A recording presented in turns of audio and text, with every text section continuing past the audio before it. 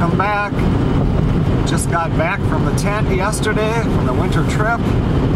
Uh, this morning now I had to pull the snowmobile off the trailer driving into Superior, Wisconsin because Melissa found uh, uh, some free metal shelving and we can really use it up in that front garage to put some of her uh, ceramic molds on so I can get some more room in there.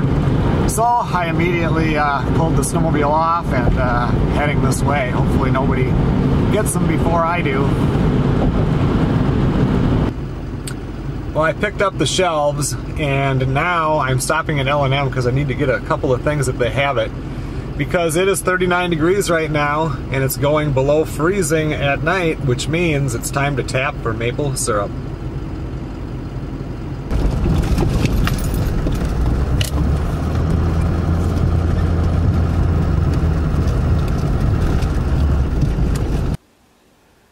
Well, I drove the snowmobile around and found a few trees that I am going to tap back there, but it is so windy you just can't film.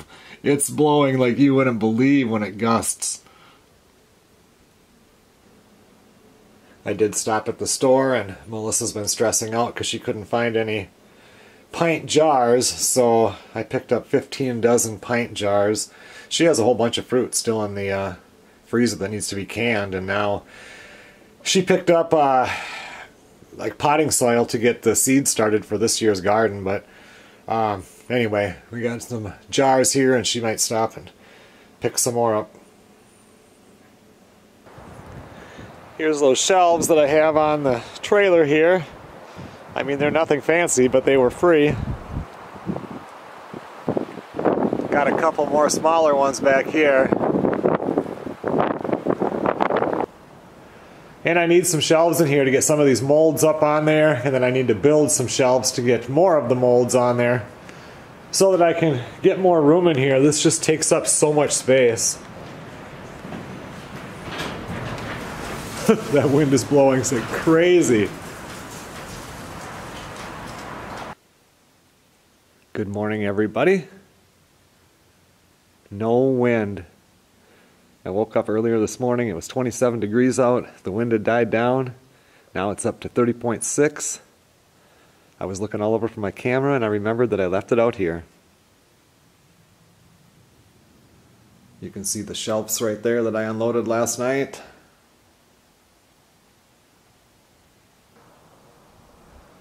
It's going to be a nice day. Later today I'll bring the rest of these canning jars inside and get all of them brought down into the basement.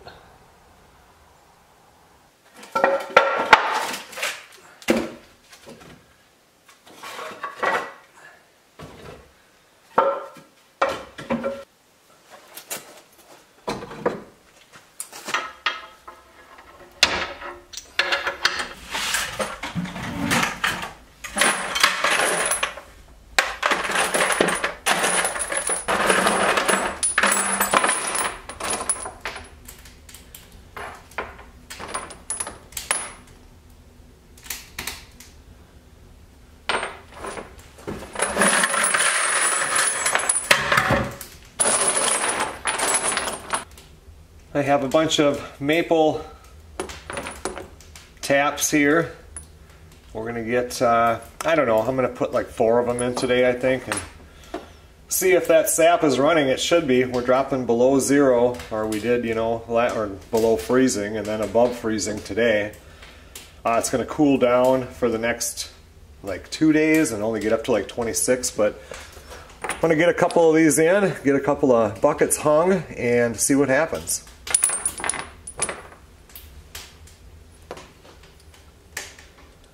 I got all these from my friend Scott. Um, his dad does a lot, or did a lot of uh, tapping maples and made just gallons and gallons of uh, syrup. He still does it, just not as much as he um, used to. So he got me some of these taps probably two years ago, and I'm just finally going to get a chance to use them. I believe, I can't remember what size bit he's said to use, but this one looks like it'll be just fine.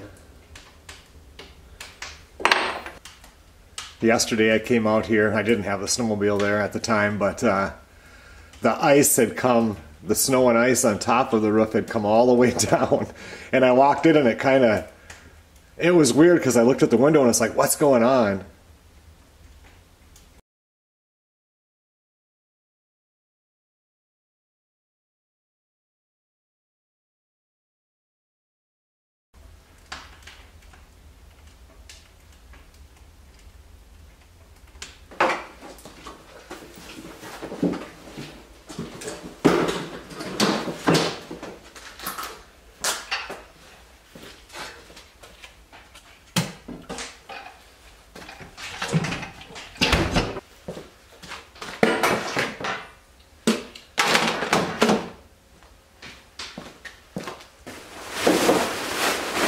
This warm weather uh, keeps up, I'm gonna have to get the snowmobiles inside and pull the four-wheelers out. But at first, when we're doing the tapping the trees, we should still be able to use the uh, the snowmobile. I drove it around the loop yesterday, and I'm just gonna do ones that are kind of close to.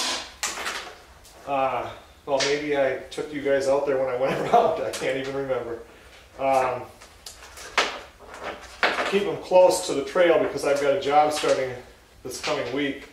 So Melissa's going to have to go out there and pull the sap when I'm down there, down in the cities.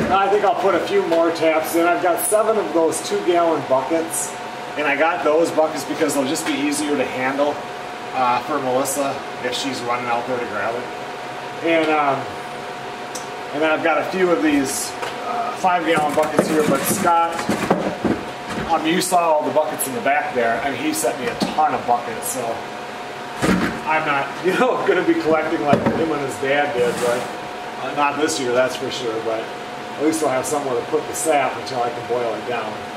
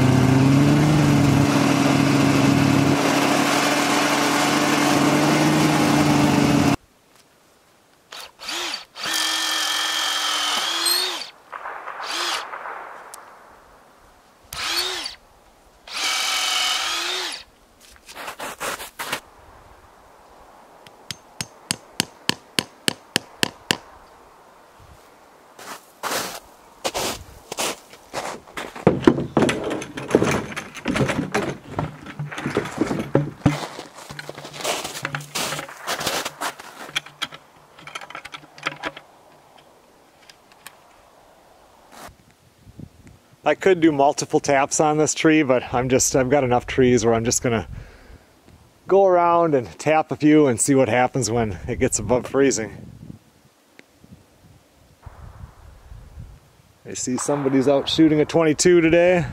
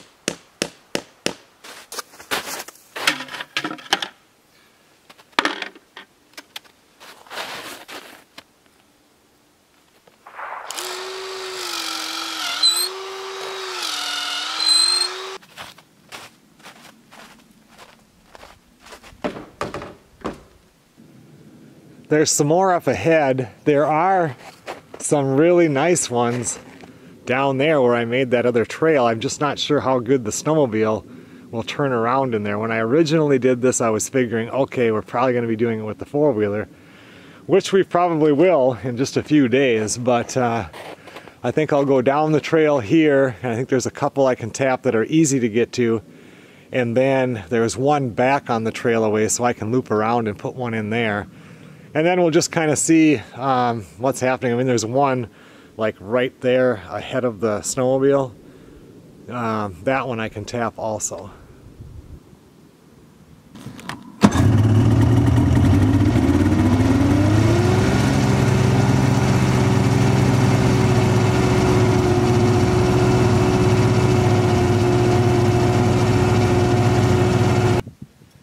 This one here I can tap. There's a whole bunch of them back in here and uh, just not easy enough to get to for Melissa to be traipsing through the snow.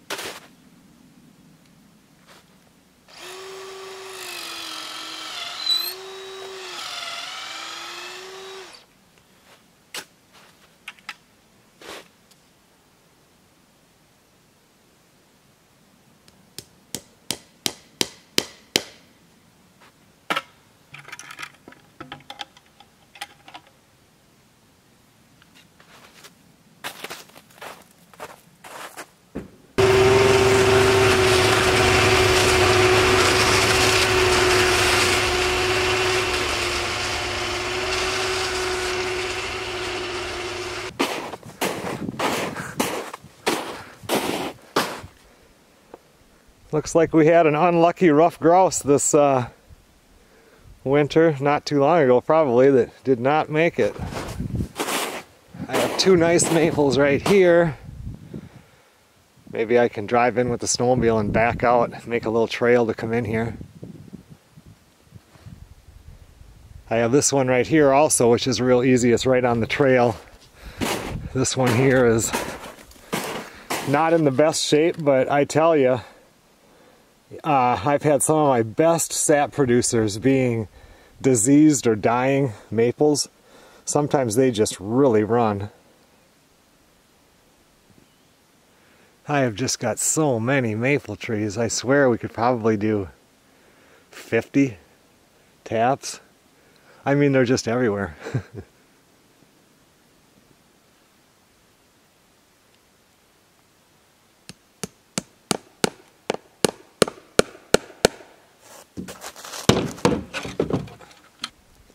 I think instead of doing those there, I'm going to make the loop. And there was that tree when I was just first coming in on this trail, and I'll just tap that one. We'll just keep everything on the same trail this time.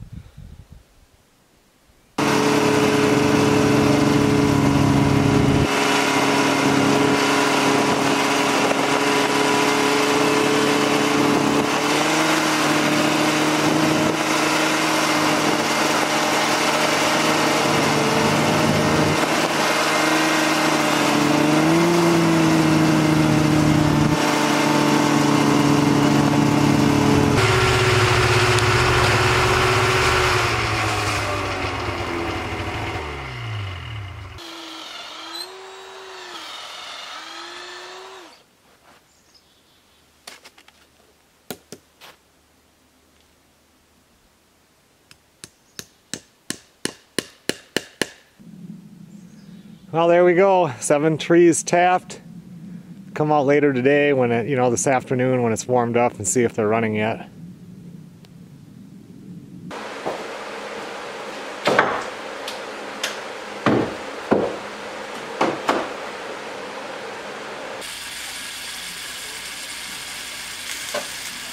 We need bacon? I'll come out and grab some from the freezer. No, it's too light. I got it, Mom.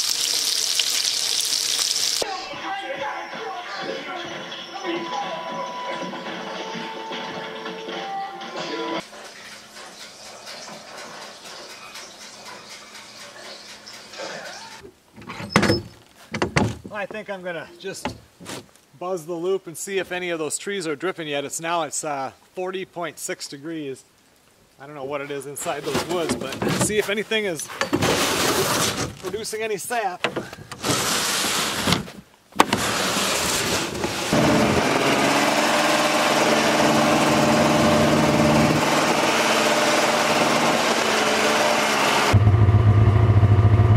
Nothing yet.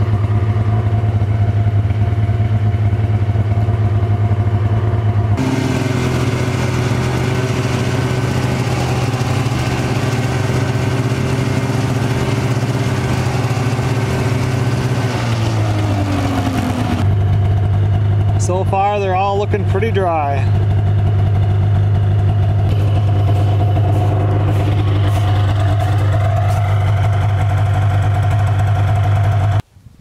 The snowmobile definitely does not handle as well in this soft, melting snow.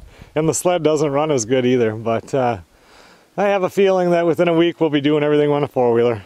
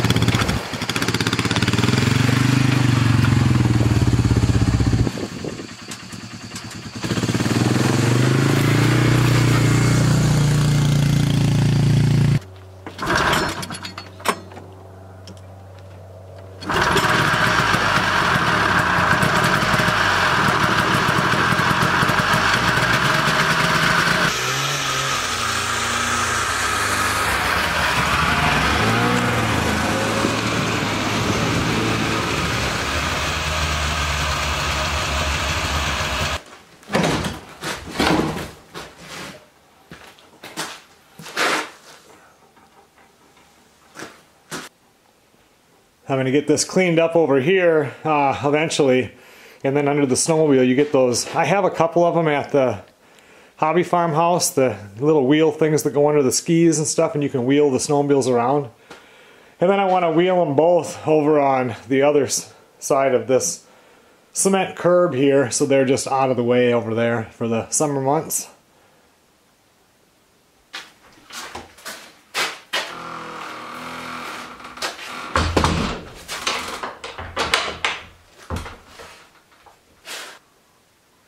Bring the four-wheelers up to the front garage here sometime today. And the other snowmobile can stay out for a little while because we can still use that. I'm just running up to the grocery store. Melissa wants to make fajitas. I don't know if they're a keto fajita or maybe all fajitas are keto. I don't know. But anyway, there was a few things that she needed, so I told her I'd run up and pick them up. Well, I got everything she needs and made it back to the farmhouse. I still have to bring those four-wheelers in the garage, but all afternoon here I've been trying to get done with this uh, tent winter trip video, and I'm almost there. Okay everyone, the tent winter trip editing is finished. It's finally rendering. Let's see before mistakes, if there are any that I have to edit out. It's 1 hour and 56 minutes long. Let's go bring the four-wheelers into the garage.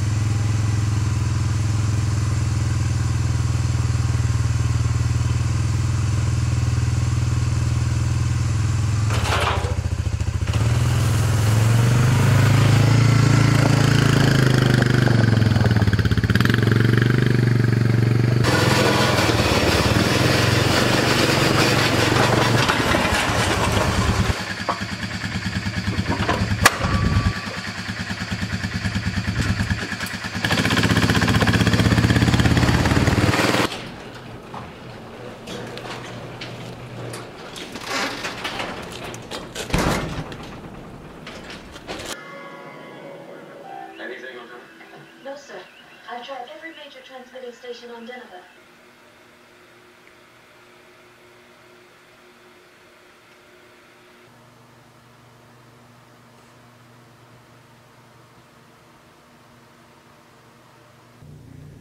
I haven't filmed anything this morning. Today is house cleaning day. Bedding is in the wash. Getting everything cleaned up. Uh, Melissa, she's making fajitas right now. I think they're keto fajitas because they're different kind of uh, whatever a fajita goes into. I don't know. but anyway, she's not doing a video on it because we wanted to try them first to see if they're any good. And then if we like them, she'll do a video on them eventually. It looks really good. It really does.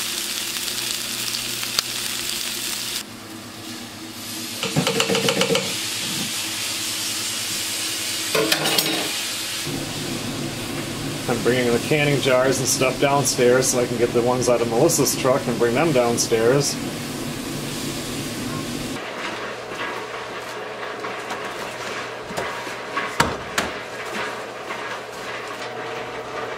I still have more to bring down, but Melissa just poked her head in the door and said it's time for lunch. We just got the oil tank filled up here about a week ago. I think that's the third fill this winter, and that should be good now. We won't have to fill it up until fall. The rocks are in the final step, and they get pulled out today, so I should have some polished rocks later. Certainly does look delicious. Now the sun is warm enough to melt some of the snow, but it's still only 27 degrees. Thank you.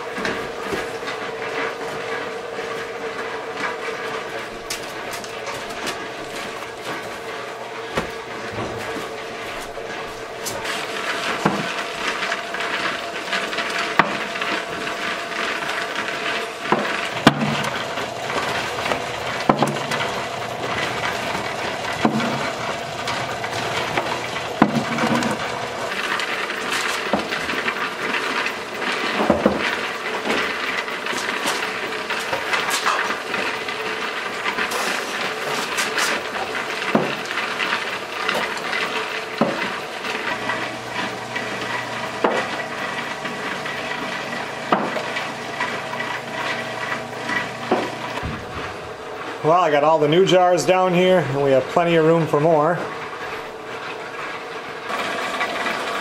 And I have all of the stuff that she has canned recently brought down here now and put on the shelves. Back in August, Melissa and I went and got, I don't know if it was cherries or peaches, or I think it was cherries. And they had some grapes there that were a really good deal green grapes, but when we ate them, they had no flavor. So she decided to can them all in a light syrup, and now I just opened one. I want to see what they taste like.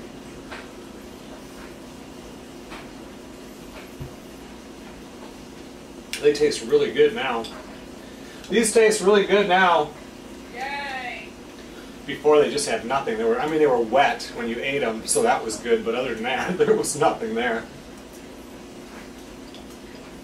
And now, she's going to make, um, she got vanilla beans, and she's going to make vanilla bean extract or whatever. And one of them is going to go into whiskey.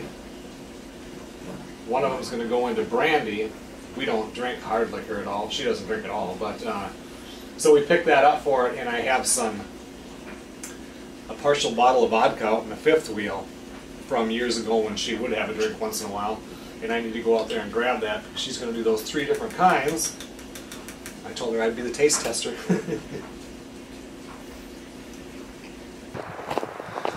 so let's go out to the fifth wheel and get that bottle of vodka for her.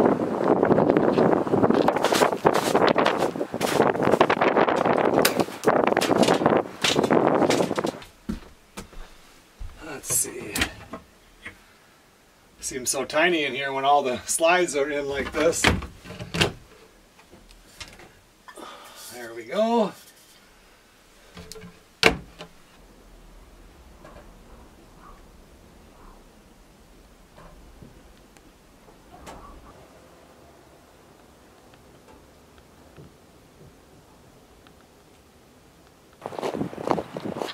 You know spring is on the way when the wind starts picking up like this.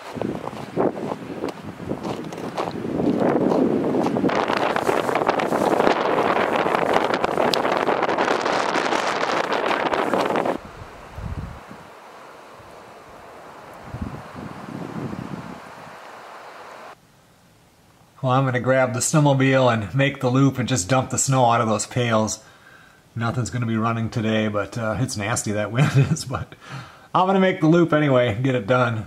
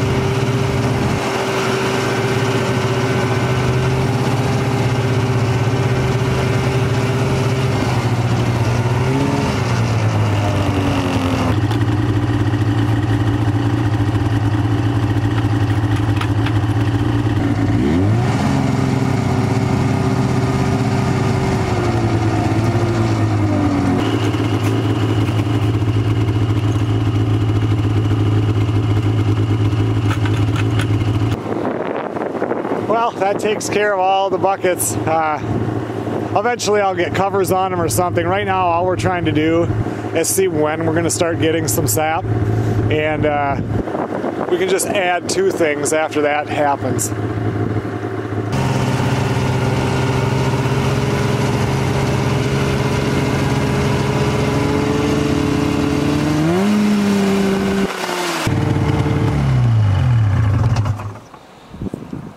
I tell you, when I was up to the tent, and even yesterday, I was warm when I went up there the first day, and then yesterday it was warm. The sled just, you just don't have any power with it, but when it's chilly like this, man, this thing works just awesome.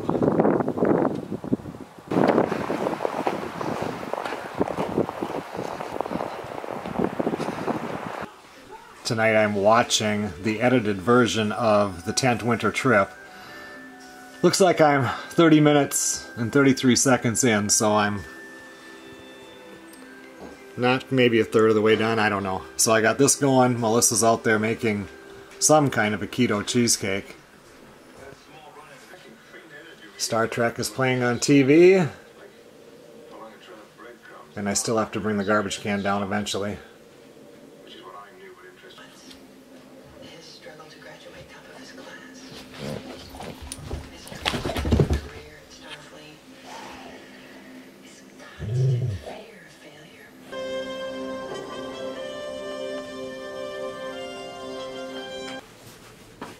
Okay everyone, well thanks a lot for watching.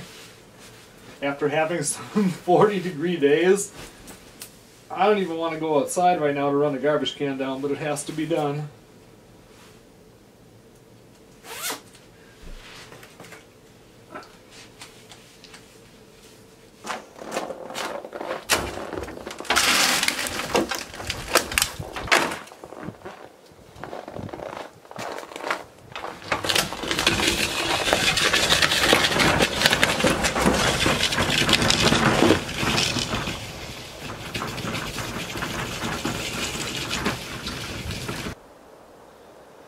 Will see you guys on the next video.